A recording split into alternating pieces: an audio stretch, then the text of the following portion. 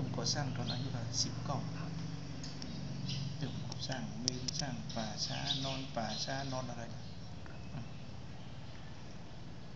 โดนผีหลอกบ้างโดนอะไรโอ้ยอืมอืมเป็นคนขี้กลัวผีอืมมันเลยไปนอนป่าช้าโอ้ถามว่าทำไมขี้กลัวผีไปฆ่าความกลัว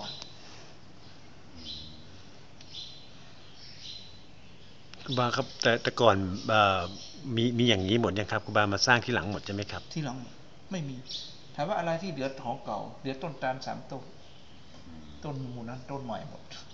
สามต้นเนี่ยคือของเก่าครัขบองวัดบัณฑิตเหลือแค่เนี้ย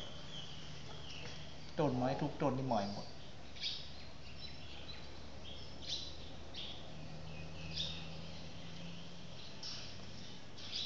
เริ่มสร้าง คงเป็นวิหารหลวง วางศิลาเล็กวางศิลาฤกษ์เองวันที่ 29ธันวาปีสามสิบแต่วางศิลาฤกษ์เป็นพิธี วันที่ 6 มกราสามสี่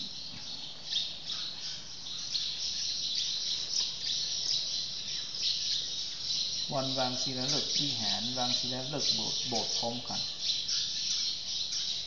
กลางคืนประมาณเที่ยงกว่าแผ่นดินไหวถามว่ารู้ยังไงแผ่นดินไหวเพลิงที่ทำประหลำน่ะไหวหมดแตกตื่นอืมคงประมาณคืนวันที่ห้ามกรา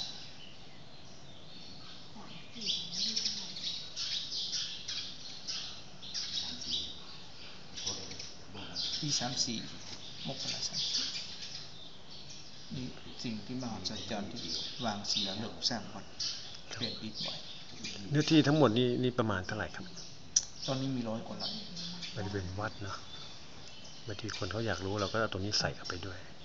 อืมร้อยร้อยเจ็ดร้อยแปดไร่อืมแล้วก็มีกรณีพิพาทกันวัดเรานี่ ชาวบ้านลูกหมด ครับครูบาก็สู้สู้คดี เพราะฉะนั้นคนท้องถิ่นเชียงใหม่ก็ดีไม่เป็นจะไม่นับถือครูบา จะคอยใส่ร้ายโจมตีไปเพราะตอนนั้นที่ดินนี่เขายึดไปหมดที่เจดีย์เขาเอาไปหมด ที่วัดเหลือไม่กี่ไร่ถนนตัดผ่านตรงเป๊ะนี่ ที่เห็นถนนขึ้นมานะนั่นคือวัดนี่ไม่ใช่แล้วครูบาเลยสู้ครูบาสู้ได้เป็นเป็ดเก่าทีสู้ผู้ใหญ่บ้าน สู้ถ้าเป็นในอำเภออะไรนะเข้าใจเนาะอืมครูบาเลยเอาความถูกต้อง กูเดินได้ไปกรุงเทพครั้งแรกกับเรื่องที่ดินวัดเนี่ย อืมอืมคือรถทัวร์พากันไปบ้านนอกเข้ากรุงอืมอืมมีพระจากวัดเมืองฝางเนี่ยอำเภอฝางเนี่ยแนะนำว่าผมจะรับรองให้จะพาไปหาผู้หลักผู้ใหญ่ที่ไหนได้ไปถึงกรุงเทพเอาเราปล่อยเพลอยเพอยู่นั้นเราไม่รู้จะไปที่ไหนมันไปหากระถิ่นพระปางแล้วไม่เอ่ยชื่อมันก็ดังตรงนี้นะเป็นเจ้าคณะอำเภอฝางเอาเราไปนอนวัดปทุมคงคา อ๋อปทุมคงคาไปทำขวัญนาคมาไม่ไม่นานเขาก็ไม่ต้อนรับเราเราเป็นพระบ้านนอกเราไปกับชาวบ้านเอานอนที่ระเบียงกุฏิเขาเนี่ยยุงเรอ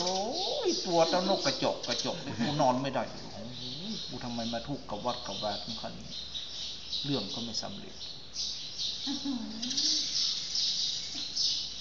เขาก็ต้องเข้าหากรมศาสนาเข้าหากรมเราก็ไปเข้าหากรมศาสนาเราไม่ได้รู้จักใคร ก็กลับมาสู้กันใส่ไล่ป้ายสีครูบาอืมเจกใบปลิว เป็นว่าเล่น จนถึงมีคนมาให้กำลังใจคือคนกรุงศรีอยุธยา สมกับชื่อว่ากรุงศรีไม่สิ้นคนดีคุณสะอาดชมบุญมาเป็นเจ้าหน้าที่ที่ดิน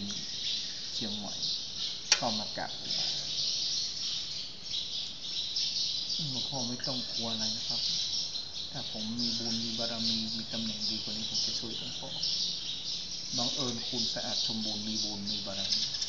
ได้ไปเป็นรองอธิบดีกรมที่ดินแกเลยมาจัดการสมซื่อสะอาดนามสกุลชมบุญสมบูรณ์เป็นคนกรุงศรีอยุธยาเออ น่ะมันมันมันพอกคล้องกันหมดที่สีไผ่ทั้งๆเราก็ไม่รู้จักหมดที่ดินวัดนี่ไม่ได้คืนแล้วตอนแรกโดนฟ้องไปแล้วโอ้สู้กันเลยสิไปเขาทำอะไรไม่ได้หยุดเดียวนะก่อนก่อนที่จะสร้างอะไรที่มันถึงแค่หอระฆังนะ เออ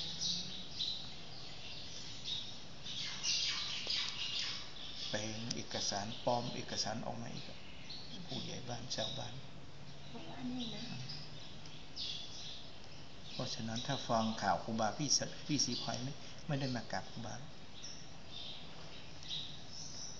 วันนี้จะโดนเมื่อปี43โดนหนักที่สุดว่าค้ายาบ้าเออลงหนังสือพิมพ์ลงอะไร ข่าวท้องถิ่นโจมตีเลยเออว่าครูบาเถืองบัณฑิตค้ายาบ้า